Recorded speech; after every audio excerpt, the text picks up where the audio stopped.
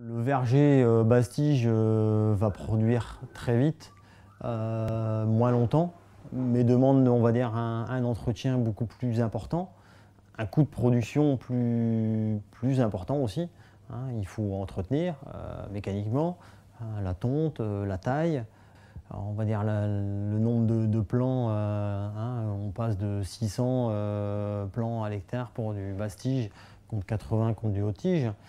Euh, par contre, le haut-tige va être beaucoup plus long à la mise en production.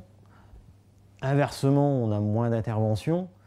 On a aussi un petit peu moins de problèmes dus à la, on va dire, à, à l'aspect, on va dire, concentration. Euh, surtout au niveau euh, des maladies, surtout au niveau des, des insectes. C'est deux, deux types de cultures différentes quasiment. Vous n'avez pas choisi entre du bastige et du haut-tige vous, C'est intéressant à l'échelle de l'exploitation d'avoir les deux.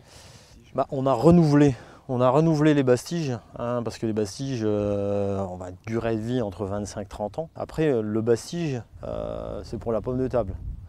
Bon là c'est pareil, on oriente un petit peu. bon, la pomme de table, on en vend ici sur l'exploitation. Et on a commencé à décrocher un petit peu de marché sur certains points de vente. Donc la partie là sera utilisée pour de la cueillette. C'est différent.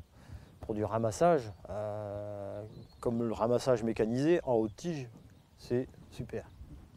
Parce que on a un sol qui est bien tassé, euh, on peut y aller, on va dire, quasiment toute saison. Euh, Qu'en basse tige, ben, le fait que ce soit, on va dire, exposé de façon, on va dire, euh, assez, peu, on vient tondre l'herbe, mais c'est pas tassé, c'est pas. aussitôt qu'on rentre un petit peu en saison humide, c'est une catastrophe catastrophe au niveau de la ramasseuse, euh, c'est la terre qui monte plus que les pommes. euh,